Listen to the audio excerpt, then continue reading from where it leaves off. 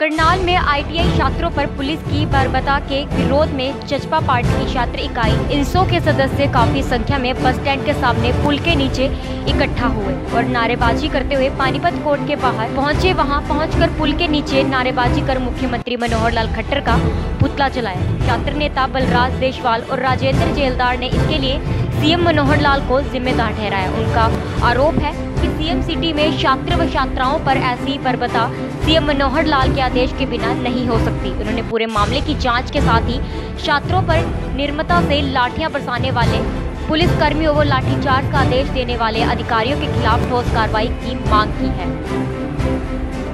ये आज हमने पुतला इसलिए जलाया है, जो 11 तारीख को आई में जो लड़का निकित लड़का था वो बस से गिरकर मर गया था। उसके विरोध में आज हमने यहाँ विरोध प्रदर्शन कर इस प्रदेश के सीएम मनोहर लाल खट्टर जी का पुतला जलाया। है ये आईटीआई में मैं आपको बताना चाहता हूँ उन छात्रों कोई कसूर नहीं था।